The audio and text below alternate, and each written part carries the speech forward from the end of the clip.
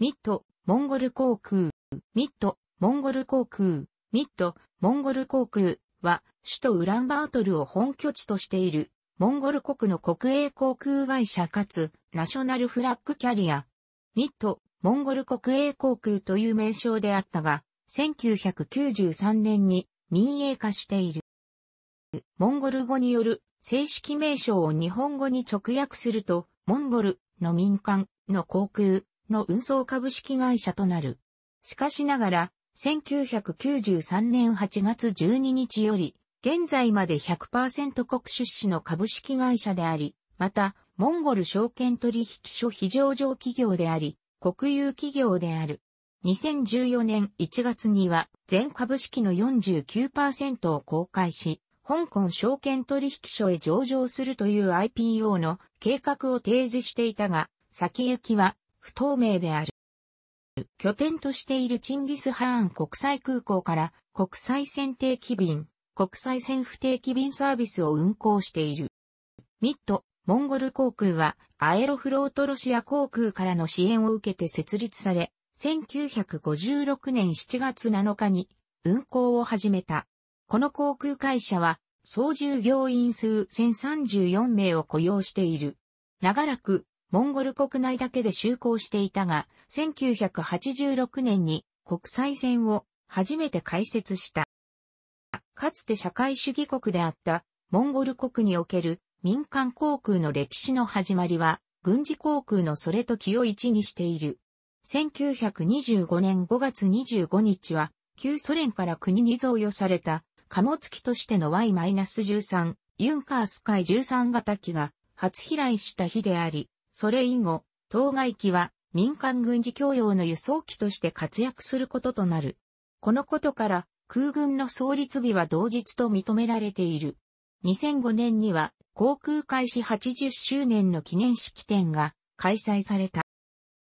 1946年には国内民間航空運送事業を行うための日本製フォッカースーパーユニバーサル中島機 -6 型機7機とポー -2 型機1機で構成した民間航空運送隊を設立し、国内東部方面への運行が始まった。モンゴルの民間航空運送の始まりには、どういう経緯で取得したかは不明だが、日本の飛行機が大きく関わっていたことになる。フォッカスーパーユニバーサル、中島機 -6 型機は、中島飛行機がライセンス生産し、また、満州航空が運用し、かつ、若干機をライセンス生産した航空機である。モンゴル人民共和国閣僚評議会、内閣に相当は、1946、47年の両年にわたり、航空郵便規則や航空郵便積載機の記号とマークなどを制定している。1955年、イルクーツクに所在する民間航空学校でミッドからの5名の生徒が初めて学ぶこととなった。1956年初頭にはアエロフロートロシア航空の援助のもと、アン -2 型機5機が到着した。教官による教育訓練を実施し、パイロット要員などを要請した。そして、同年7月7日に初飛行を迎えた。機材は、もちろんアン -2 型機で、区間は、ウランバートル・イルクーツ区間であった。モスクワや北京といった目的地の国際線の機材には LI-2 が当てられた。1958年段階で、アン -2 型機14機、イール -14 型機7機を保有し、11,605人の乗客と 363,700kg の貨物と郵便物を取り扱ったという実績が残っている。イール -14 型機に関しては、チェコスロバキア製のアビアーブ14型機や、東ドイツ製のイール -14T 型機もあった。その頃には、県庁所在地、村役場所在地、集落など130カ所もの離着陸地があり、ウランバートルから県庁所在地に週4から6便、県庁所在地から村役場所在地に週2から3便という運行頻度であった。1964年からアン -24 型機を、1975年からアン -26 型機を取得し順次就航させた。これ以降、70年代、80年代、90年代と長きにわたり、モンゴルの翼として活躍した。1979年には、アン -30 型機の運用が始まる。1987年からは、旧ソ連のアエロフロートロシア航空からリースしたツ -154B2 型機を使用して、国際線の運航を本格的に開始するとともに、旧ソ連のモスクワとイルクーツク、中国の北京に駐在員事務所を設置した。1990年には5月にツ -154B2 型機を返却し、6月にツ -154M 型機をアエロフロートロシア航空からリースし、国際線に投入した。1991年、韓国との間に航空協定が結ばれた。以降、大韓航空との間で、ウランバートルとニガワ間のコードシェア運行が始まった。1992年、コミューター機である中国製油 -12、ハルビン Y12 型機5機を購入、就航させた。1992年、大韓航空を参加に有する韓国の関心グループ会長からボーイング727から200型機1機の寄贈を受けた。後に同型機を2機購入することになるが、すべて全日空が大韓航空に売却した機材である。1993年には100%国保有であるが株式会社化し、自主的な経営の裁量を得ることとなった。その当時案 -24 型機12機、アン -26 型機3機、U-12 型機5機、アン -2 型機45機、ボーイング727から200型機1機、ツ -154M 型機1機、アン -30 型機1機、ミ -8 型ヘリコプター3機の計71機を稼働させていた。1994年5月には、大韓航空よりボーイング727の200型機を2機購入した。1995年、ツ -154M 型機をアエロフロートロシア航空に返却。1998年5月22日、外国民間航空当局の騒音基準をクリアするため、エアバス A310 から300型機を導入した。これは、アイルランドダブリン所在の Airbus Industrie Financial Services とのファイナンスリースによるものであった。2002年7月9日、オペレーティングリースにより、ボーイング737から800型機を調達した。これは、老朽化したボーイング727から200型機の後継機としてである。このリース元は、ギャテックスという企業なのだが、アメリカの鉄道車両リース大手企業のギャテックスなのか、不明である。2002年に U-12 型機が安全性への懸念を理由に退役した。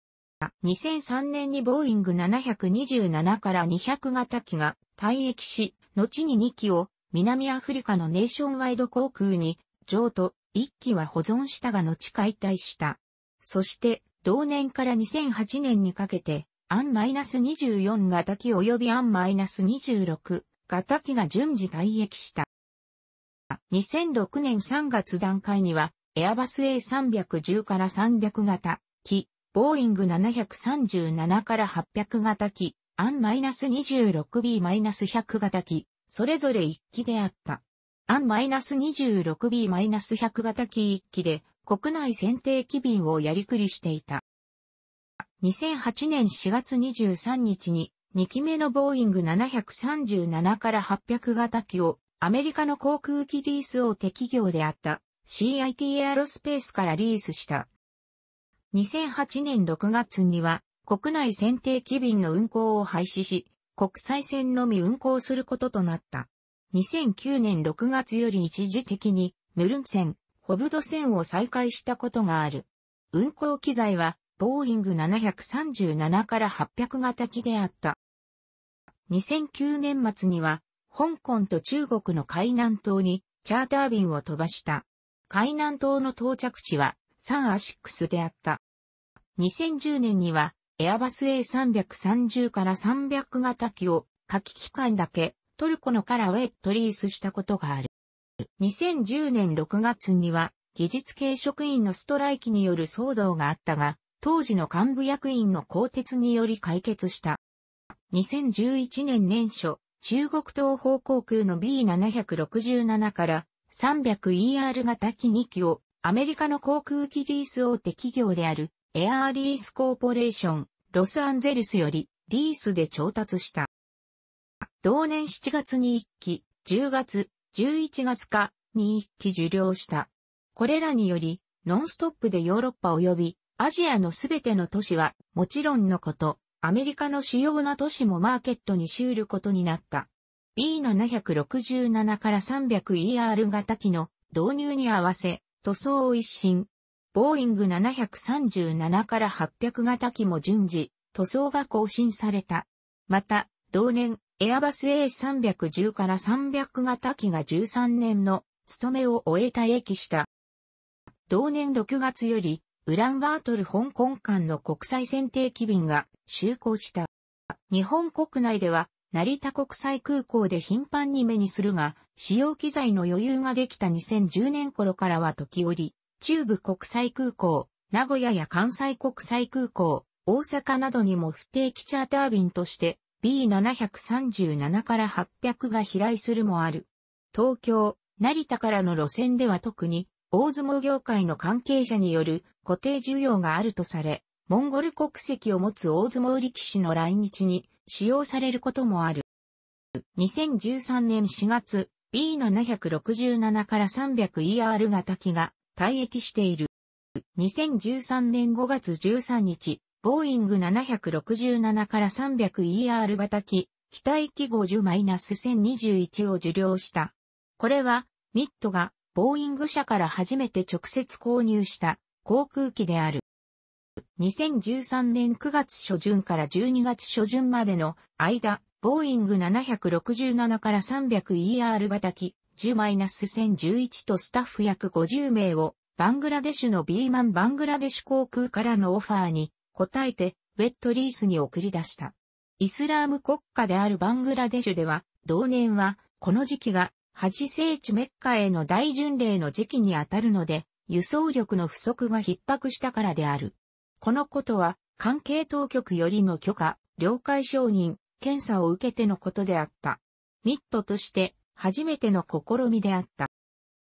2014年1月には全株式の49%を公開し、香港証券取引所へ上場するという IPO の計画を提示していたが、先行きは不透明である。2014年3月よりウランバートルフライクフルト間の国際選定機便が就航した。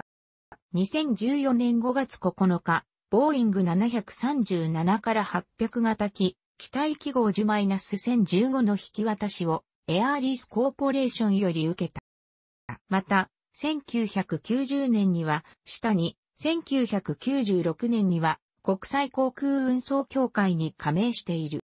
座席クラスはビジネスクラスのブルースカイとエコノミークラスの2種類。リコンファーム、予約再確認が必要な航空会社なので、利用の際には注意が必要である。2014年6月現在では、リコンファーム不要としている旅行会社、航空券販売会社も存在する。2017年11月現在、海外支社、航空旅客代理店、モンゴル、韓国、中国、日本には旅客代理店パッセンジャー SA がある。ヨーロッパなどには旅客総代理店パッセンジャーグッサを有している。航空貨物代理店、モンゴル、韓国、中国、日本には貨物代理店カーゴ SA がある。また、国、特定地域によっては貨物総代理店カーゴグッサを有している。2014年8月現在、各機にはモンゴル帝国、元帝国の大王にちなんだ名称を付けている。ACSG、オゴデーハーン ACXV、フビライハーン、10-1015、グユグハーン、10-1011、不明、10-1021、チンギスハーンミット、モンゴル航空の機材は、以下の航空機で構成される。2013年4月現在、なお767のうち10-1011と1012は元中国東方航空の中古機材でエンジンは RR 製10-1021は新規発注機材でエンジンは GE 製である。また、現在唯一ミットに割り振られたボーイングの顧客版記号 4G を名乗る機材でもある。一方737は ACSG がライアンエアーの中古 ACXV が新規発注機材である。楽しくご覧になりましたら購読と良いです。クリックしてください。